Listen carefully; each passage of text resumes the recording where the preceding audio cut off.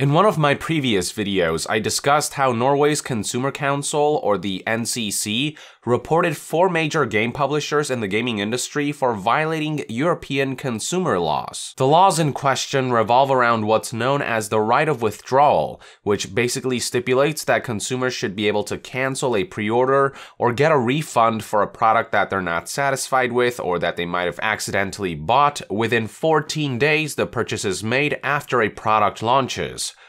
The specific companies that the NCC called out were EA, Sony, Nintendo, and Valve, or more specifically their respective digital services, Origin, PlayStation Store, eShop, and Steam. Now, Origin, PS Store, and Steam do actually offer a wide variety of refund options, and pre-orders can be cancelled at any time. However, they don't ask consumers express consent to acknowledge that under certain conditions, whether it's playing a digital purchase for a set amount of time, launching it, or even downloading downloading it, they lose their right of withdrawal. So one solution for them would be to have a pop-up message appear before any digital purchase outlining these conditions very clearly and having customers check a box confirming that they agree with a publisher's purchase cancellation or refund policy. Now, when it comes to Nintendo and their eShop service, it's a whole other ballgame, as once you order something from the eShop, that purchase is final. As stated in their purchase terms, quote, except as authorized by Nintendo or as required by applicable law, all product purchases, including pre-purchases, are final and non-refundable and products may not be returned or exchanged.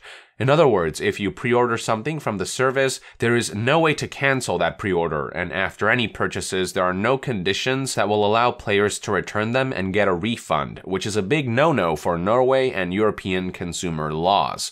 So it is mainly Nintendo that the NCC has a major problem with, and understandably so, not allowing people to change their minds regarding pre-orders, or not allowing any leeway in returning products that one might not be satisfied with or that one might have accidentally purchased is as anti-consumer as you can get. Shortly after the NCC issued the complaint, Nintendo actually responded back via a letter. The following information comes from website pressfire.no. The article is in Norwegian, but fortunately a Reddit user managed to provide some bullet points translating the relevant information. The website apparently obtained the letter that Nintendo sent to the NCC in response to their various claims. The main argument that Nintendo makes is that once a digital game is purchased and preloaded onto a game console, at that point the product's use can be considered to have begun.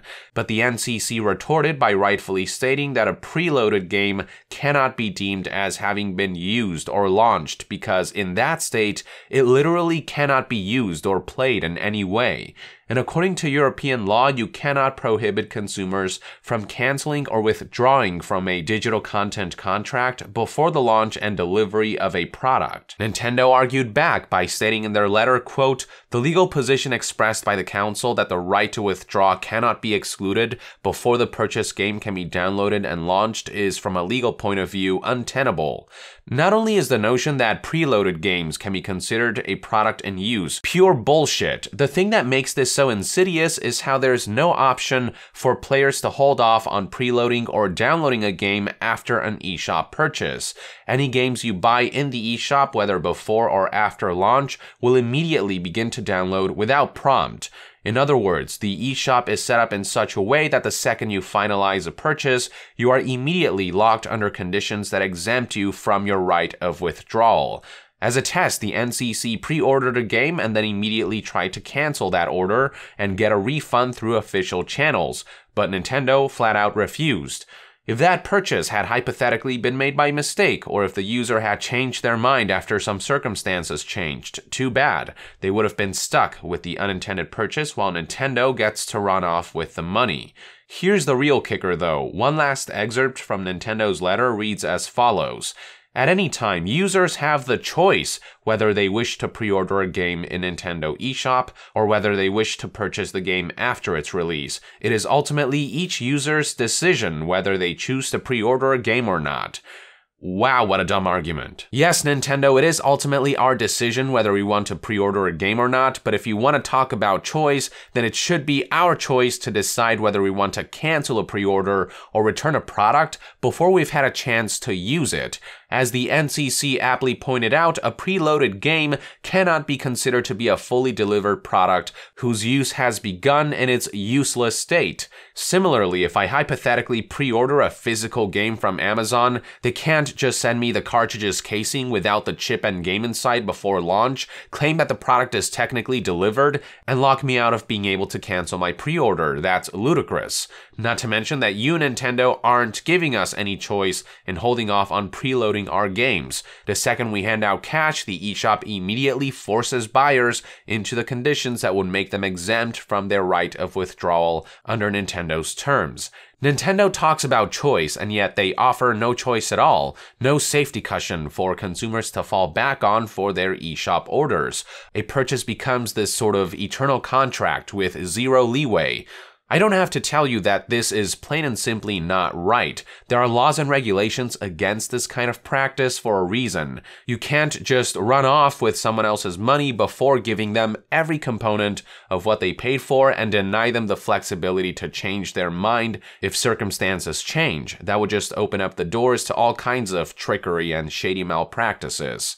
Look, I generally quite like Nintendo, namely due to the fact that their flagship games are always so damn excellent. I truly do love the company's focus on quality and creativity. But some of their decisions really just boggle the mind, whether it's their highly controversial Nintendo Creators Program or the recently criticized anti-consumer purchase policies for their eShop service. Whether you're a Nintendo fan or not, I think this stuff needs to be called out, and it's good to see that countries like Norway are taking the initiative to ensure that game companies are following consumer protection guidelines, especially when they're giving such flimsy justifications for crap like this. Nintendo, there is only so long you can resist consumer laws of an entire region, so please just do us all a favor and yield. Take the legal and moral high ground and change your refund policy so that customers can have sensible leeway and choice in how they handle their eShop orders. Or face the established laws head on, inevitably lose with your inadequate arguments, face legal repercussions, and make yourself look like a damn fool along the way. Your choice. With that, I would like to end this news update. Thank you for tuning in. If you enjoy my content, consider supporting me on Patreon. It is completely optional, but donating even as little as a dollar a month will go a long way in helping this channel grow. And to be further updated on all things gaming news, reviews, and discussions, stay tuned right here on YongYea. I'll see you guys next time. Yong out.